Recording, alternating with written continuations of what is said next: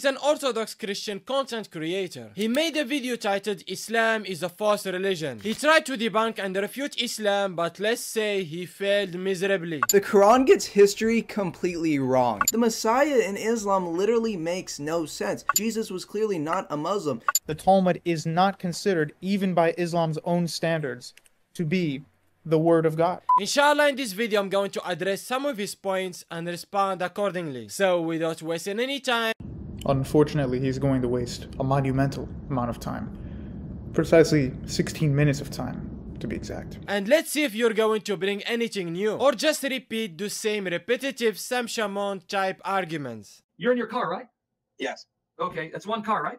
Already off to a weak start, pointing at some random Christian online, whether they're famous or not, talking about a heretical concept of the Trinity does not in any way disprove what Kyle or what I say.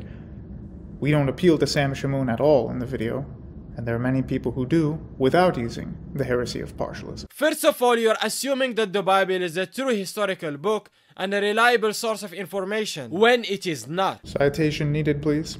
Assertions made without evidence will be dismissed without evidence. Because you have nothing in the Bible naming the religion of any prophet. God never called his people in the Old Testament to follow a religion named Judaism. And Jesus alayhi salam never asked you to follow a religion named Christianity.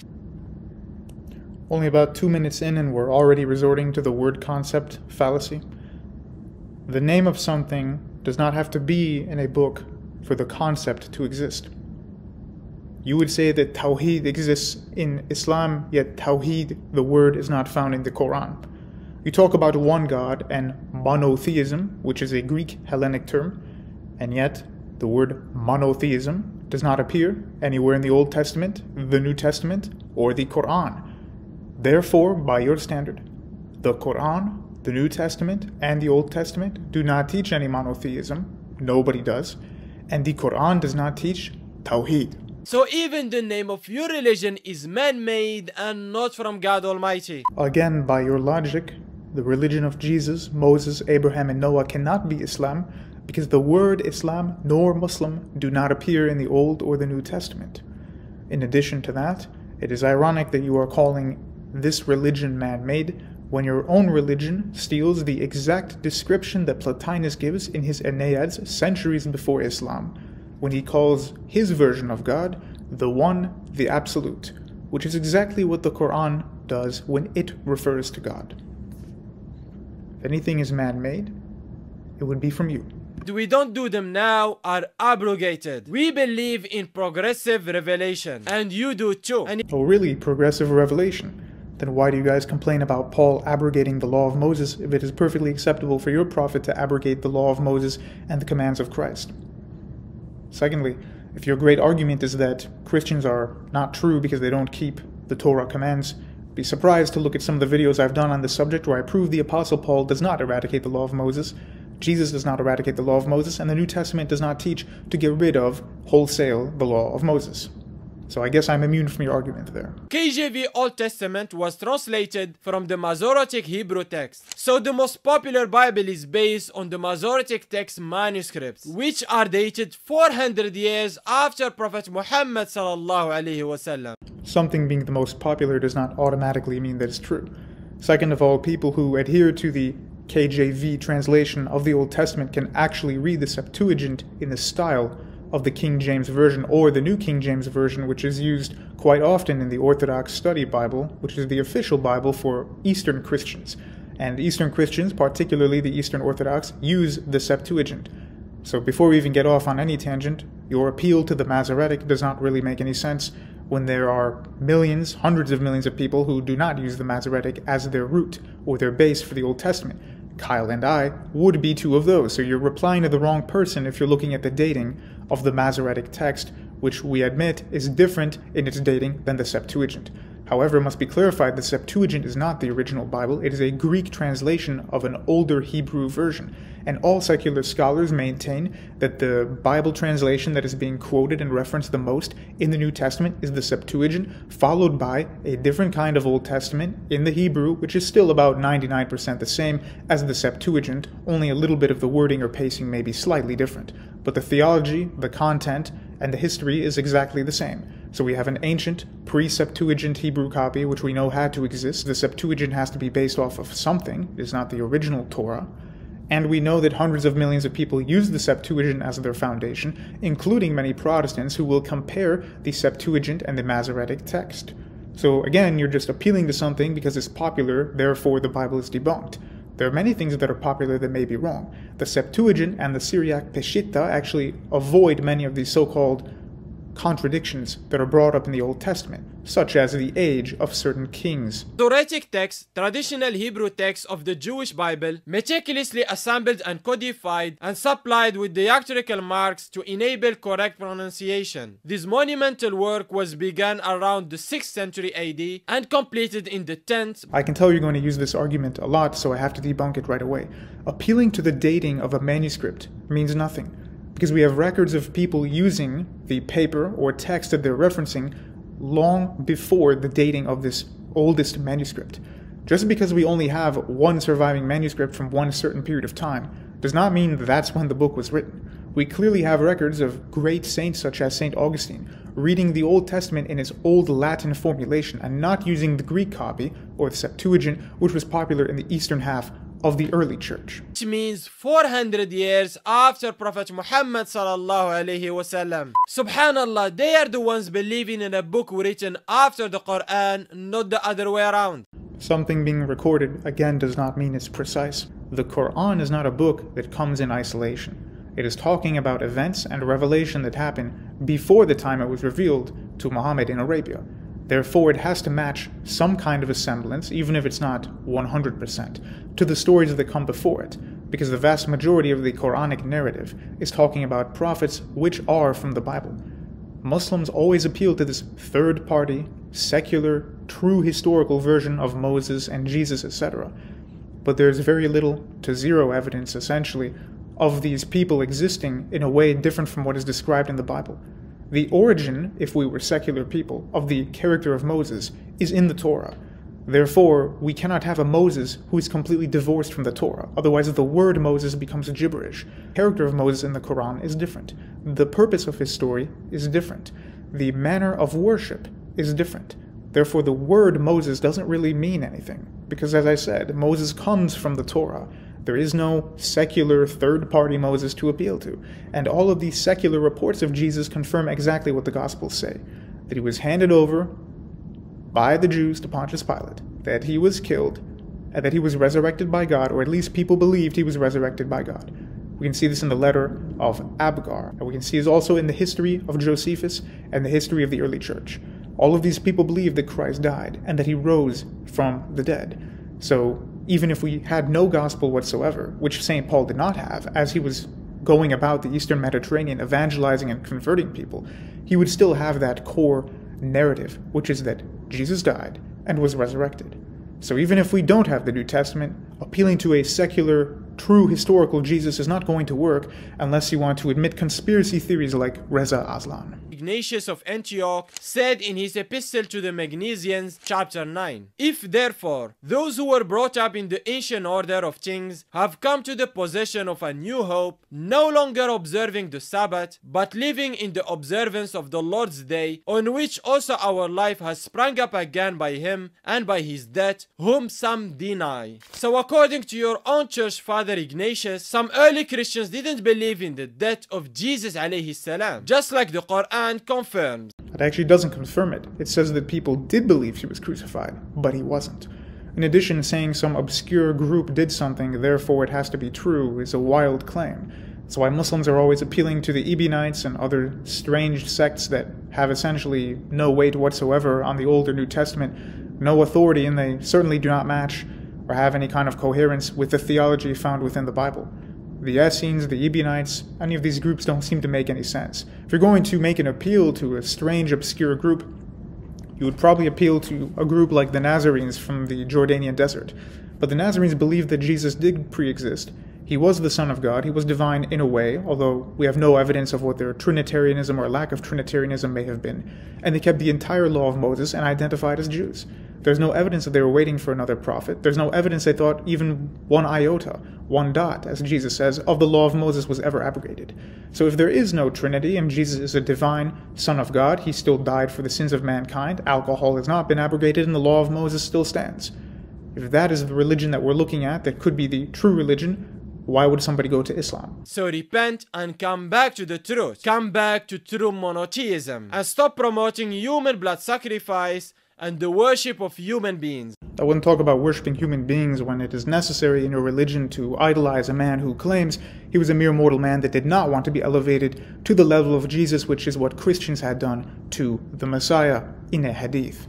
Additionally, it's not a human blood sacrifice. The sacrifice is replete throughout the entirety of the Torah and the rest of the Tanakh, which, by the way, the Quran mentions the animal sacrifices as well as the temple. So if the temple and the animal sacrifices are not fake history, but are actually part of the revelation of God, how can you say that Jesus matching the description of sacrifice is a pagan human blood sacrifice? If Jesus did not match the description of sacrifice, Muslims would be sitting here on YouTube today saying, why does Jesus contradict the Old Testament? The Old Testament has sacrifice, but Jesus did not sacrifice. Clearly, you would not be pleased either way. But Christ takes on the sacrifice of man just as Phinehas, son of Eleazar, atoned for the entirety of his people in the book of Numbers, without them having to atone for themselves. As God says, the sin, as God says, the punishment for sin is always death. If it is not your death, it is the death of the animal, which is your substitutionary atonement. And if it is not the animal, then it is Christ. And that is what we have in the renewed covenant of Abraham, or the new covenant, which is where the idea of the New Testament even comes from. But later on, after the Muslims were strong in their faith, it was prohibited. All you have believed. Indeed, intoxicants, gambling, sacrificing on stone altars to other than Allah, and divining arrows are but defilement from the work of Satan, so avoid it that you may be successful. Well, hold on. If alcohol is the work of Satan, why is it acceptable prior to the arrival of Muhammad?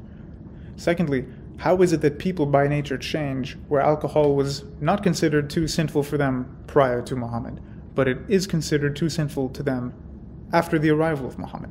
Are you saying that by nature human beings change? Because by then you would be appealing to the chain of being by which human beings are either raised or lowered on the chain of being and become different in their universal nature. And now you are appealing to Hellenism. So any idea that human beings evolve and become different at a certain period of time is the idea of the great chain of being, which I doubt you even understand. This is what we call a progressive revelation. And you should believe the same thing since you follow the New Testament and not the Old Testament. This is complete nonsense. Christians do follow the Old Testament, which is why it's part of the Bible. I think what you were aiming to say is that we are no longer part of the Sinaitic covenant. But neither were Adam, Noah, Abraham, or anybody else before Moses. Only after Moses is the covenant of Sinai established, where the works of the law of Moses guarantee life and perseverance in the land of Canaan. The covenant that we have now is a renewed version based on the contract that Abraham had with God. So, yes, there are various covenants in the Bible. The fact that you don't know about any of these goes to show the startling lack of information that your theological process has on what our theological process is. That is the earliest manuscript of the Talmud. Remember, they are claiming the Talmud was before the Quran. The oldest extant manuscripts are from the 11th or 12th century, with the oldest dated one was written in 1177. You're doing it again. You're looking at the oldest surviving manuscript, which is exactly what it says on the website the oldest surviving manuscript, and you're claiming that is when the book was written. But if you've done even an ounce of research on the Talmud, which you clearly have not, you will see that it was compiled in the 500s. It was written over the course of multiple centuries and took a while to compile. The Talmud, by the way, is not a book sent by God, nor is it based on ink on paper. Talmud literally is about oral tradition of classical rabbinic Judaism. So even if there isn't a written version of it, there will be the oral tradition. All academic scholarship denotes that the Talmud was compiled in the 500s. Just because there is a manuscript and the oldest surviving manuscript is from the 12th or 14th century does not mean that that's when that narrative takes place, nor does it mean that that is the oldest copy ever written. It's just the oldest copy that people happen to have. But we still had the Talmud long before any of these so called surviving manuscripts come into play. As I stated earlier, you try to skirt around the issue of the Quran copying the Talmud by saying the Talmud could have come later. Even if I concede and give you that point, the morality found in this idea of killing one person means you have killed the entire world, and saving one person means you have saved the entire world, is completely unbiblical. The way that God does morality in the Torah is via tribalism.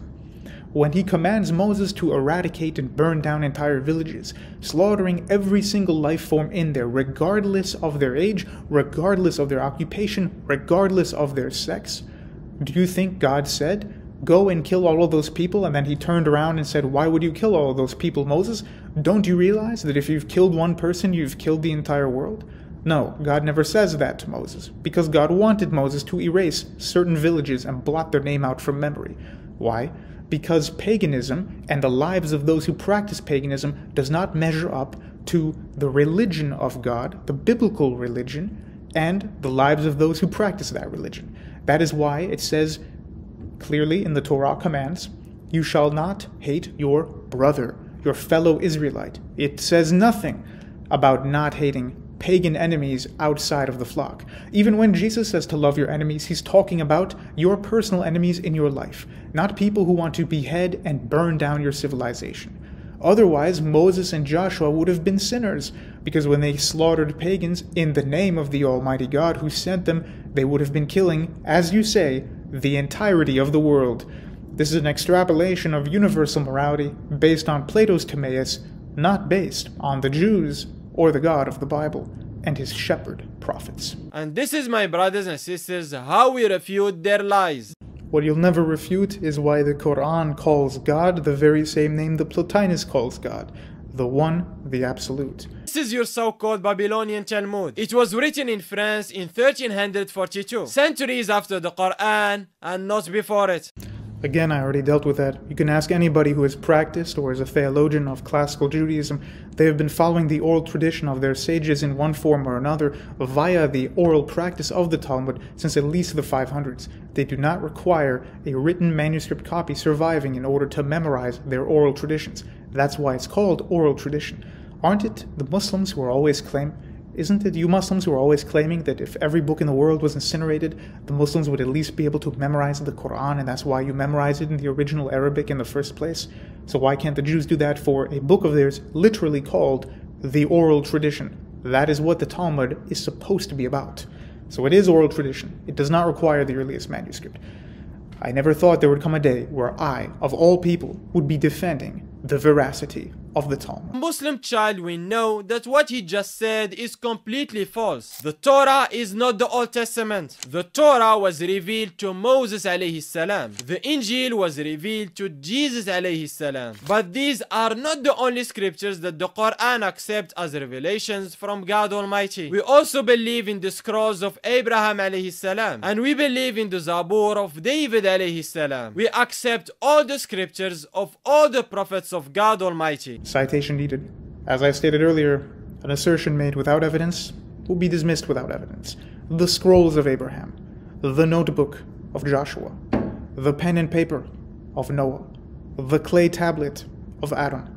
There is no evidence for any of these magical books that you state exist. The only reason you appeal to them is so that you can say, as I stated earlier, you have some kind of a semblance to the biblical prophets without having to keep biblical theology because of course your theology does not match biblical theology. So there is no evidence for any of these other books. Simply claiming we believe in this instead of that is not an argument. I could very well invent a book right now called The Sea Scroll. I could say the Sea Scroll takes elements of the Torah, it takes elements of the New Testament, elements of the Tanakh, elements of the Zabur, which by the way is just the book of Psalms, and elements of the Quran. But it contradicts all of them as well. In order for us to justify that, I would say the Sea Scroll holds to a different set of Gospels given to all of the prophets that neither the Muslims, the Christians, nor the Jews ever received, and that there is absolutely no archaeological, historical, or any other kind of evidence for. So this is kind of a weak argument. It's actually proof that Islam is the truth, and that the Jews have some of the truth. Ah, Interesting. So now the rabbinic tradition is acceptable to you because it does match your book and there's no way to escape from that one. So you claim that the rabbinics have some form of truth in them. But how do you know which part of the truth is actually verifiable? And you can't just appeal to the Quran because that's circular logic. So how do we know which part of the rabbinic tradition is truthful? Because much of the rabbinic tradition spits on the name of Jesus and says that he is burning in hell. How come you don't accept those? But you so readily accept something that happens to have found its way into your book? I need to remind the audience, as well as this man here, that the Sunnis claim that the Quran is the eternal, uncaused word of God, which God always had with him in the Islamic theology. It is not a product of its time. It makes no sense for tens of thousands or maybe millions of years ago Allah to have a Quran which is quoting so heavily, so accurately from the late stage rabbinic traditions. Or you could claim that the rabbis happened to just grasp this magic that was floating in the air and just coincidentally happened to guess the revelation that would be later reviewed in the Quran. Either way, the eternality of the Quran makes this issue much more serious than any critique of the Bible, which we all admit was written by human prophets. Is the Bible plagiarizing the Book of Enoch in the same way you try to accuse Hadith of plagiarizing the Talmud? Even in the footnote of the NIV version of the Bible, they completely admit that Jude 1.15 is from the Jewish first book of Enoch, approximately the 1st century BC. So next time, make sure to not live in a glass house if you're planning on throwing stones. Actually, we can throw whatever we want, because the Bible we all claim was written by human authors, and the human authors can quote people who are not God when giving some kind of an analysis in their theological dissertation. Quoting somebody that is not God is acceptable in the Bible because the Bible never claims that every word in it is literally a one to one correlation with the Word of God. Now, with Muslims, you have a problem because you say the Quran is the eternal, uncaused Word of God, crafted or begotten we might say, before time immemorial, and then revealed to Muhammad at a certain date and time. So if this book is eternal, it should not have traces and very heavy elements of, for its time at least, contemporary rabbinism. If it is claiming to be an eternal book, why are there so many influences from the people that just so happened to be around it when the book was revealed? In addition to that, troubling enough as it is, these things that are asserted in the Quran do not match the theology of the Bible. Copying Plotinus when he says God is the one, the absolute, is a massive red flag because Plotinus's metaphysics or ontology are completely contrary to the ontology of the Bible. So Pythagorean metaphysics have now entered into the Quran, which are completely opposed by the biblical order. In addition to that, you have other things, such as, like I said, the Talmud being copied when it appropriates the wrong type of theology and contradicts the tribalism of the Torah into what is supposed to be an eternal uncaused book. So, yes, there are many books in the Bible that are talking about things that do not take place within the self contained Bible, and that is perfectly acceptable because the authors of these texts, as I said, they are human beings citing many different things, and the Bible is not the eternal, uncaused Word of God which proceeds out of God. Rather, that would be Christ. Say, O Prophet, He is Allah one and indivisible. Allah the sustainer needed by all. He has never had offspring, nor was he born, and there is none comparable to him. This is exactly what I'm talking about. The Quran does not even understand the theology it's claiming to refute. Stating that God was never born and God does not have any offspring is assuming that God has to create offspring via procreation.